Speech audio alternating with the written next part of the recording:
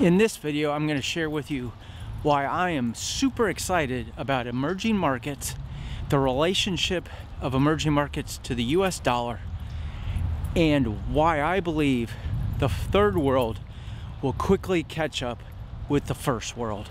Who doesn't have something made in a third world country? China, Indonesia, Taiwan, even Mexico now. These are countries that are quickly de developing into manufacturing powerhouses. But most importantly, because of the relationship of the US dollar versus emerging market countries, we're seeing a rise in emerging market countries and a devaluation in the US dollar. In March 23rd of 2020, the US dollar went as high as 103.96. Its highest in, well, since the housing bubble. And why this happened was because of the COVID crisis, the pandemic, and the des desire and need for US currency. So what happened was countries throughout the world who hold, held US treasuries sold their US treasuries or exchanged them at the Fed window for US dollars. Because the world was shutting down and countries still need to pay their bills and most transactions are done in US dollars, there was a de um, demand for US dollars. And so the supply shrank and the dollar rose. So since March 23rd of 2020, the US dollar has, well, retraced. And as of this morning, uh, 10 months later, the dollar is now trading at 90.44 or basically 90 cents on the dollar. Now, yesterday the dollar rose and those things that were correlated or oppositely correlated to them went down. So for instance, our number one headlines in the financial industry, cryptocurrency took a beating. We saw that go down but the dollar went up. So this correlation to the US dollar has presented some incredible opportunities to invest into. And I believe for the long term. And so this correlation move has presented opportunities in the commodity industry. So oil and gas is one of my ones I'm excited about but also copper and corn and many others. But one of the areas that has been on a drought for, well, since 2011 or so is emerging markets. Now, emerging markets over the last, what, 25, 30 years have become a very big part of our support system. And what I mean support, manufacturing an enormous amount of jobs have gone overseas, textile industry. I remember meeting with a, a client early on in my career back in 2000, 2001, where he explained he just lost his job because of the textile industry, his job going over to China because they could do what he his company did for pennies on the dollar. Along with the textile industry, many other industries have gone overseas steel industry has gone over. Um, a lot of car manuf some car part manufacturing has gone over.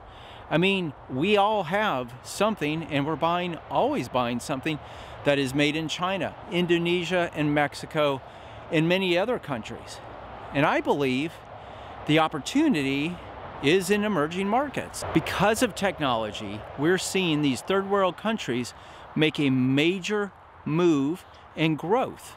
We're seeing them adapt new technology that they can build out quickly and we're seeing them quickly speed ahead of our development. I mean, look at some of these countries that already have 5G technology.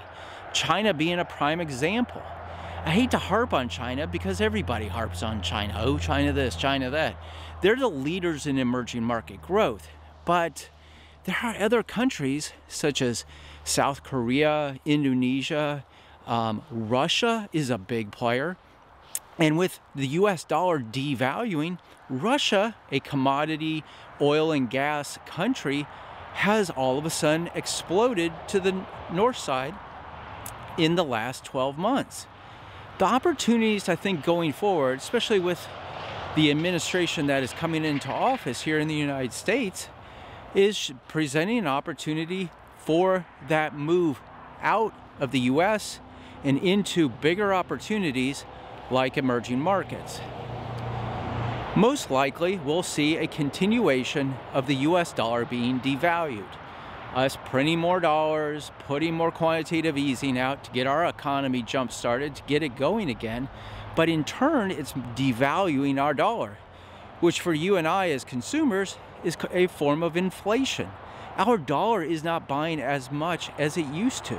And as more goods are continued to be manufactured overseas and not here in the United States, we're going to feel that inf that inflationary environment take up, you know, beat up on us a bit. Recently, well, in the last, I would say, what, three or four years, Thomas Friedman wrote a, a book called Thank You for Being Late. And in the first part of the book, it addresses the exponential growth of, or exponential uh, speed growth of the main uh, chip industry. So like the you know chips that go in your phone or in this camera or in our cars. And what it, how they explained it in the book was that if you look at a chessboard and for every little square on that every square, so if you start on, on the right side on one side and then go over, every square basically doubles. Well, in the book, he ex explains that we're only halfway through the chessboard. And you think about the technology and how chip manufacturing and the speeds that we're able to process data at has exponentially grown in the last, well, 10 years, 20 years, and it's even getting faster. I mean, every cell phone or uh, computer is getting faster year after year because of that exponential doubling of each year of microchip processing speed. And it's going to continue. Well, take that information and apply it to a third world country like Brazil or Argentina or Indonesia or South Korea or anyone, Russia, whoever you want to pick that's more of a third world uh, level country. And what you're going to discover is they can take this exponential growth in technology, build out their infrastructures, and quickly catch up with us, first world countries.